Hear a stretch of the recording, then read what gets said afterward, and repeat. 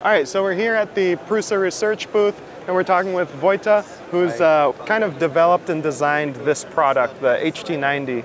We want to get some in-depth engineering details about it and just kind of learn more about this machine because it's, uh, it's a bit of a showstopper for people who want to print high temperature materials. This episode is brought to you by Squarespace. The main feature of this sets it apart from most other printers on the market is that 90 degree chamber temperature capability. So going yes. from 60C to 90C, what exactly does that do for your users? It enables you to process a, a, lot more polymers. The ones that you could process at lower temperatures and you do it with, with higher chamber temperatures. Actually, you, the fact you bring in the heat means you get a lot more layer adhesion and so a lot more strength. It also means that you can effectively print bigger and more complex geometries with the higher chamber temperature. Obviously, the main goal of the HT90 here is to print more advanced materials. So whenever you have the need not to just quickly you know, whip up a design with PLA or PETG, but you also need to verify the properties of the model. So let's say it's a gliding application, so you need pure nylon to do that. It's a high temperature application, you need ABS or maybe polycarbonates. If it's a UV resistant application, then a ASA model would be appropriate. And so with all these polymers, which are industry standard, you need a heated chamber. So that's why we focused on the HT90 and we come up with a printer that's not only easy to use, affordable, also has a huge build chamber and it can print materials that require the heat within the build chamber. Let's talk about some surface level things that I like about this printer. I mean, the main one for me is every printer I get in for review, I do decibel testing to see how loud it is. Some of them are literally as loud as being on a jetliner. Like a vacuum cleaner? Yeah, 70 plus decibels. This one I can't hear it at all. You can get right up next to this thing and it's, it's barely making any, uh, any noise. I kind of want to understand how that's possible, or like, was that a design requirement? The ultimate design goal of this printer is so that every engineer can have the printer on his desk. So whenever you're working next to a printer, you don't want to have, like you said, a jetliner next to you. So there, there are many details actually that we had to focus on. One of them is getting the drivers right so that we get as little motor noise as possible. The other one actually has to do a lot with cooling. So with the HT90 we came up with a brand new system of cooling. So as you can see there are no ah. fans on the printhead. It's something like a turbine which is not within the chamber, it's outside of the chamber. It's in the upper compartment. What the turbine does, it sucks in the hot air through a HEPA filter. So this ensures user safety even with the uh, printer in a, in a office environment and forces the air back using the dedicated tube down to the printhead. Here the air actually serves two purposes.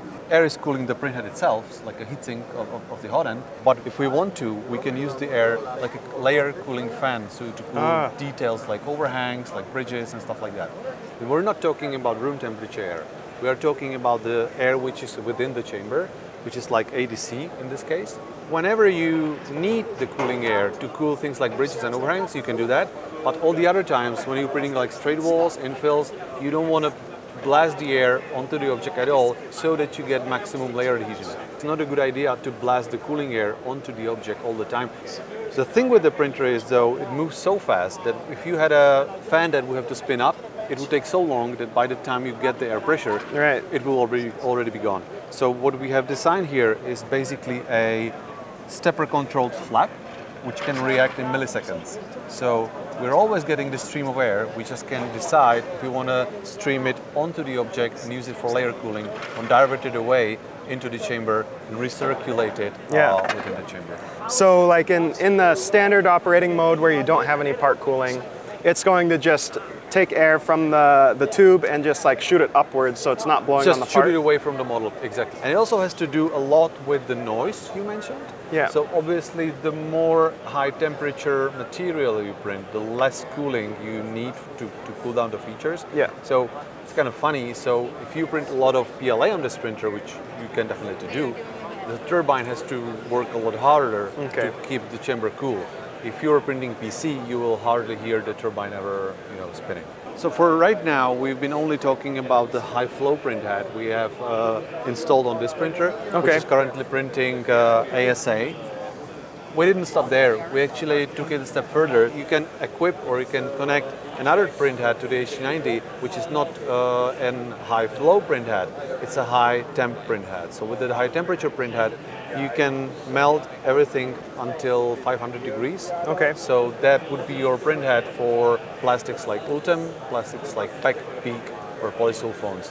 Okay. And with these polymers, you get the ultimate performance in pretty much every direction. So mechanics-wise, temperature-wise, chemically resistant polymers. Just to give you an idea, this would be pure PEI or Ultem. Yeah. This thing can go almost up to 200 uh, C in operating temperatures. Has an also mechanical resistance, and there are very little solvents that can actually dissolve this kind of plastic. Okay. So in general, we, we call these uh, high performance polymers. And so this is something we are really curious where this will uh, expand the possibilities of the engineers. So while you can print full object or full chamber uh, with polymers like ABS, PC, or ASA, it's mostly small to medium sized parts for these high performance polymers, Yeah. just, just given the properties they have and also given the price of these polymers Yeah, as well. you don't want to be printing a five kilogram PEEK part. You could, but yeah. You could, but yeah. Okay, um, so like really to, to summarize, going from 60 degrees, which is kind of like the standard actively heated enclosure, to 90 degrees, you can get more out of the, the traditional get, plastics. You get more polymers, so a wider range of polymers.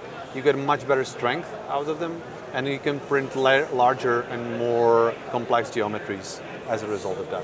Whenever there's a user who's getting the HT90, it's not just because he wants the print to get out. He also needs some mechanical performance of the of the output. Right? That's the what the 90 stands for, right? The Yes. 90C. Go up to 90C. Yeah. There's actually a nice way how we deliver the heat into the chamber. So instead of using like a localized source of heat, like a fan and a heater, mm-hmm. we actually heat up the both side panels. Oh, of the really? HT90. And so These these uh, white panels exactly. on the side. Just looks like they're one panel. There is actually Yeah. an internal one, an insulation, and an external one. Interesting. And so they heat up over the entirety of the panel. Yeah. And they pump the air into the chamber. So this results in two things.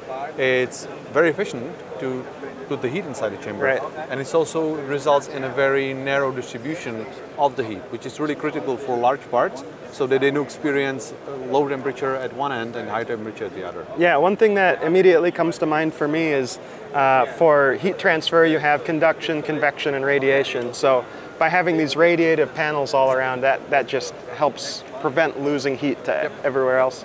We all know that browsing YouTube at work can get you in trouble. For me, it usually starts out with something useful like a SolidWorks tutorial, but then I get lured into an hours long detour of watching cat videos. That's why I'm using today's sponsor, Squarespace, to post articles that are more related to professional and engineering content on my blog.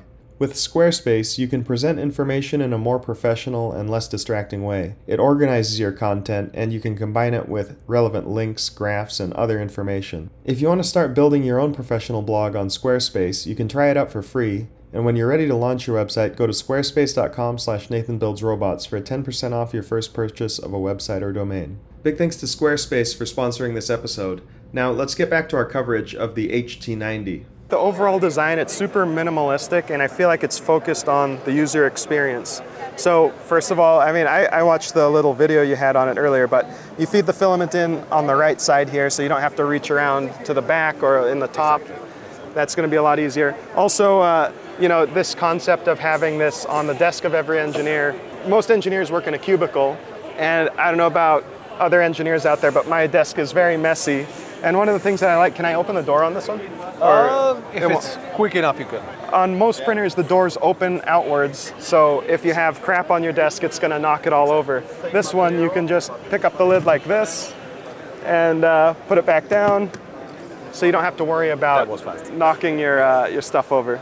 And and then uh, instead of having the handle on the very bottom, they have a little gap here, so you can actually kind of look in and see how the first layer is going down. Although the printer employs a similar load cell design like other Prusa products, like the Mark IV and the XL, in the case of the HT90, we actually didn't put any gauges or any load cells onto the print head. Yeah. Uh, again, to keep it very light so that we can move it around faster and print faster. Instead, we are using three load cells which are under the print bed. So the Okay. print bed is actually carried by load cells. And so you get very nice precision when you tap the nozzle onto the bed when you calibrate the printer.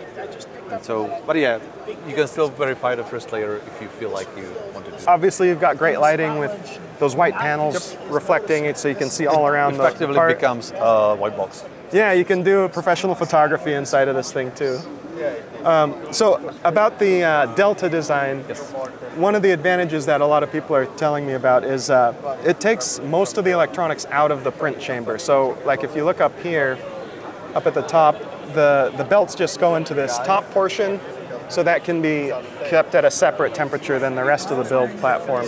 That's actually a huge advantage of the Delta design is the fact that you can enclose it quite easily and you can take all the sensitive electronics, motors, power supply, control boards out of the heat. Mm-hmm. And so in terms of making the design enclosed and heated, a Delta concept or a Delta machine is very often a very nice way of doing it because again, the only thing actually that's still in the chamber is the linear rails the carbon fiber rod arms, the print head, and that's pretty much, pretty much it. So Okay. everything else is out of the chamber, ventilated, kept cool, so that you get the maximum lifespan out. of it. And I have a question about the, uh, the ball bearings that are used to... uh, Magnetic, yeah, the magnetic joints. Yeah, so I mean, on a traditional design, you'll use like rod end bearings, and then they'll add a spring to ensure there's like it takes up the slop.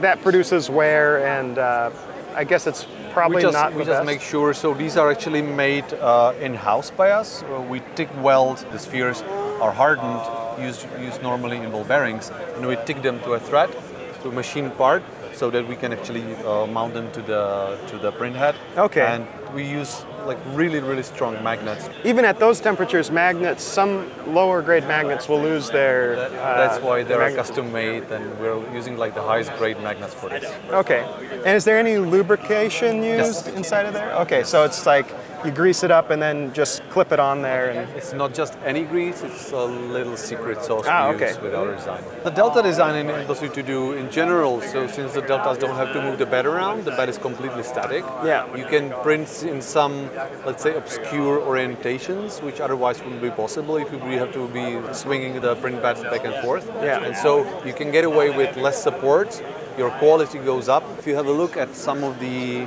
printed parts, wow, I thought this was an SLA part when I was looking at these earlier. Actually, So I, I this is... the same before I saw it at my colleague's desk. So this is uh, the Prusament PA11 with carbon fibers. Yeah, that's incredible. It looks gorgeous. Wow. So um, you mentioned engineering materials, and uh, like that's kind of one of the big advantages you'd get by having a printer like this. It's kind of hard for me to understand because I haven't worked in the industries that you, you might have customers in. But I saw in your video you did some work with Volkswagen. In automotive, they don't use PLA or PETG or ABS for much. Well, ABS is used somewhat.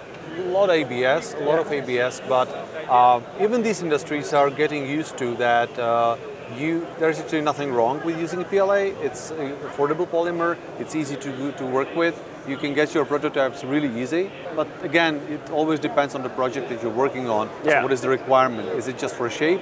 Are there any temperature requirements? Are there any mechanical requirements, etc., etc.? I guess like for part validation, you want to have the correct material. If I wanted to verify like an engine cover that needs to go up to, you know, whatever the engine temperature runs at, then that's going to need to be made out of a special material. If I just did PLA or PTG, I could do fit testing, but I couldn't do Exactly. like actual validation. Usually, what you do, you don't do all of these things in a single step. So you do it like stepwise. So first you do your shape validation, and once you reach the point where you're confident with the design, you can print it out of a material that will handle the heat, the, the chemicals, or the. Nice example for this is this one. Uh, this is pure nylon. So for, for any application that would uh, be for gliding applications or friction, this would be a really nice material to not only verify the shape of it, but also the you know the properties, the final components need to have. yeah, so you know, you get that lubricity of nylon, Yeah. and you could do some fit testing. and some- Friction resistance, exactly. the surface finish will be a little different, but uh, Yep.